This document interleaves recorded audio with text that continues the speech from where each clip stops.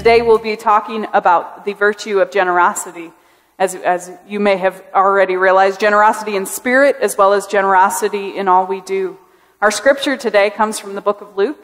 It is a story we all know and a story that connects us. This is from chapter 21, verses 1 through 4. Jesus, he looked up and he saw rich people putting their gifts into the treasury. He also saw a poor widow put in two small copper coins.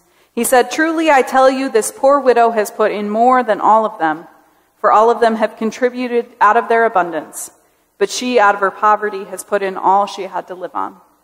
This is the word of God for the people of God. Thanks be to God. So let's begin with our scripture. Uh, we'll get to the virtues in a minute. Uh, there's a lot going on in the story, just four verses. The, we have the story that the rich people that Jesus is speaking of had obviously distracted the disciples. Jesus is talking to the disciples. Um, they had distracted them with ostentatious giving. Now, if you don't know about how giving happened in the temple, uh, it was a little different than we do uh, giving in the church here. In a few minutes, we're going to take up an offering, and everybody's going to be facing the same way, and the plates are going to pass down the aisles, and you don't have to look at anyone, and you don't have to, nobody's going to be looking at you. We're going to have music playing while we do it. There's nothing to um, distract anyone about giving unless you're going to throw a bunch of change in and make a loud noise.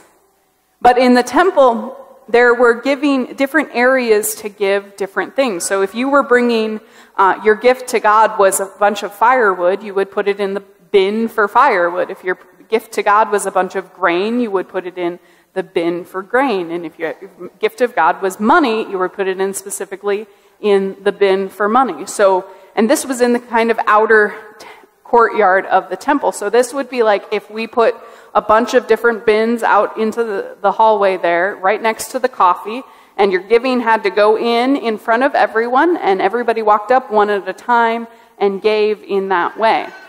So the disciples and Jesus, they're talking, and they're dist- obviously distracted by someone giving a lot. And Jesus looks at them and says, You know, you need to pay attention to the next person giving, this woman who's giving quietly and giving these two coins.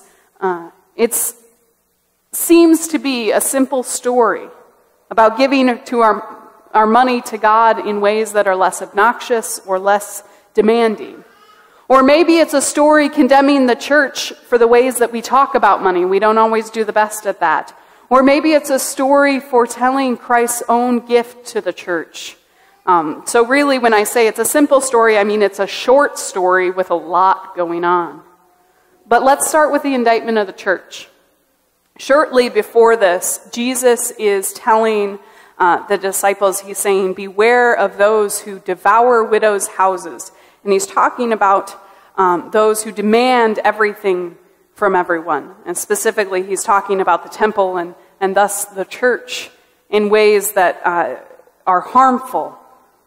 Um, the, we have this people who are giving loudly and proudly, and this woman who's giving her whole living. Her whole living is another translation's use of it. She has nothing else, and she gives it all. This really is an indictment of the church when we fail to model healthy and real giving.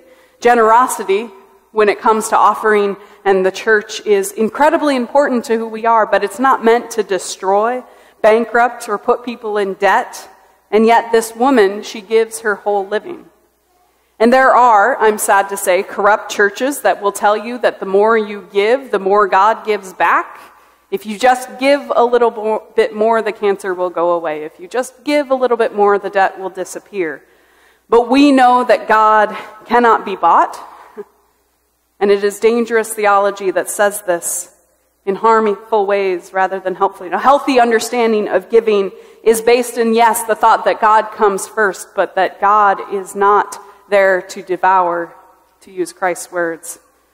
But the generosity of Christ is a little bit different story. The generosity of Christ is about more than that.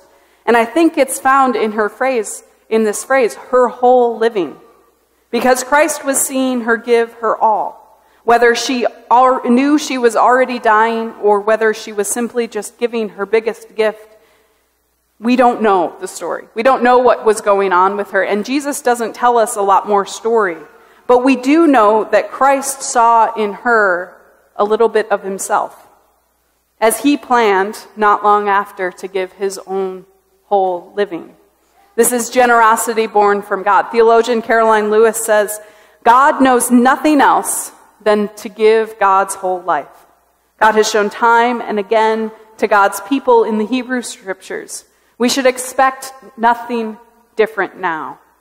This is the essence of God, to give God's whole self. And here, now, in this unnamed widow, God is doing it again. God call us, us to whole life living.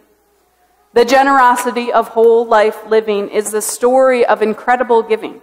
Generosity, you see, is not simply about money, but about so much more. Generosity as a virtue, as we we're talking about, as a building block for life, is something that must be practiced and planned. It's learned rather than simply found. One of the best ways to practice generosity, one of the, strangely, the easiest ways to practice generosity is by giving money. Um, if you want to start with money, start with getting finances in order, learning to give first rather than giving last. This only works when you have an income that actually covers your expenses. It doesn't work when there is not enough money, which is probably where this woman was. You know, learning what is needed and what is not, learning to to give first and to be generous always is a difficult thing to learn. And for those of you who are young, it is easier to learn as a young person than it is as you get into your kind of ways of giving and ways of life. I'm pretty confident about my personal finances, but I, I know that I can always learn more. So I recently uh, took a class called Financial Peace University. And some of you may know about this. Um, it's a plan, it's, it's a specific plan to get out of debt, to, to have enough savings, to focus on giving. And, and mostly it is about generosity. And money isn't peaceful if generosity is not involved. And no matter, I have known a lot of people in my life who have had very little money, and I've known a lot of people who have had a lot of money. And regardless of where you are on the economic scale, if generosity is not a central part of who you are, money isn't in any way peaceful. Money is stressful. It, it, it gets inside your soul a little bit until you start to see it as a part of who God is. Um, you know, I, I don't recommend living in debt, but I've known people that are incredibly peaceful about their finances, even though they don't know where their next payments are coming from. Not because their situation is peaceful, but because of the comfort of generosity. And that kind of generosity, that kind of whole life virtue, is so much more than just money.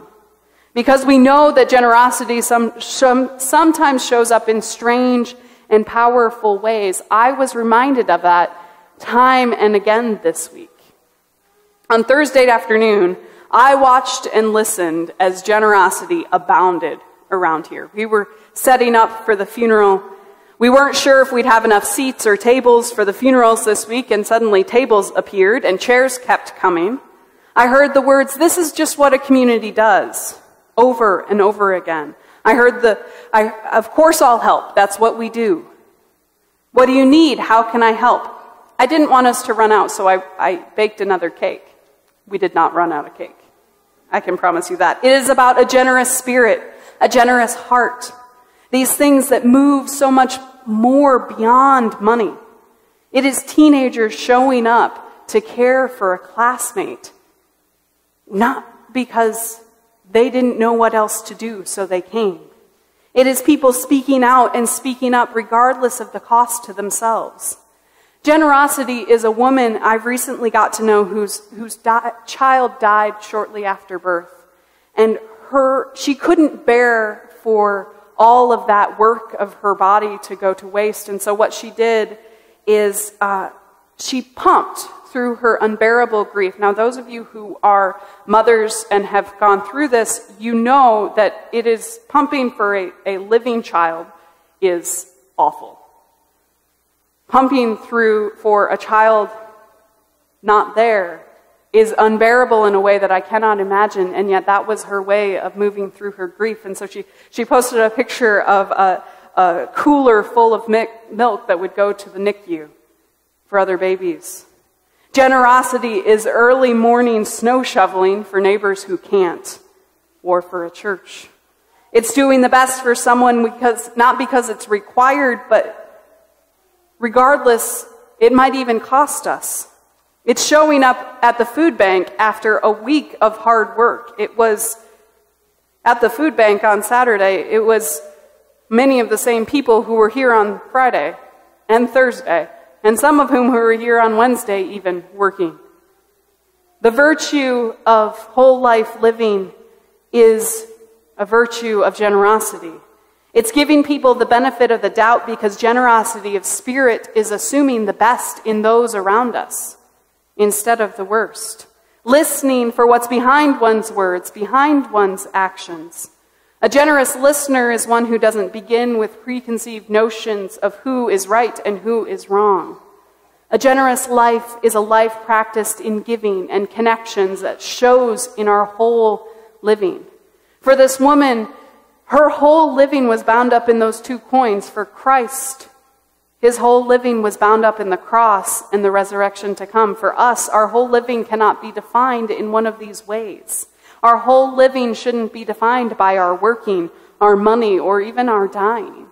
Our whole living, from our waking to sleeping, our relationships, our working lives, our times at church, connecting with strangers, all of who we are and all of what we do should be affected by our generosity, just like our perseverance. It is not a matter of being generous with money while being, never being generous in relationship or spirit. It is not a matter of being miserly in some ways and not in others. It is not a matter of giving so much away that you can't eat or you go into debt. Generosity as a virtue is so much more than this. And it, it's so much more than do this, do that, don't do this, don't do that. Virtues are not about rules, but about whole life living, thriving, and living while focusing not on ourselves, but on others. Stretching those spiritual muscles and finding that the work is good. Krista Tippett, she calls generosity and love forms of instant gratification. We talk about instant gratification, we think about that as a negative thing. But when it comes to love, when it comes to generosity, these things, they fill us up as much as they fill others. When you have the money to help, nothing feels so good as giving it away. Those lines of pay it forward, we've all maybe been a part of them or heard about them. There, there was one just last year that went on for hours upon hours where in a coffee shop line, the next person would just pay for the person behind them and on and on and on. These, the generosity of, uh, of incredible power that it, it really, it shoots off endorphins. It's, it's a physical reaction almost. This week, Flame of Faith United Methodist Church welcomed and fed a lot of people. Not only at a difficult funeral, but also at the food bank with the boxes and the potatoes. That's the kind of generosity that worms into one's soul in a really good way and connects us to God's generosity. It's whole life living, it's giving all of ourselves, and we learn it straight from Christ, straight from God. I hope we can each add a little bit of generosity into our lives, whether it's in being generous in our relationships or our listening or our connections with strangers, assuming others are doing their best.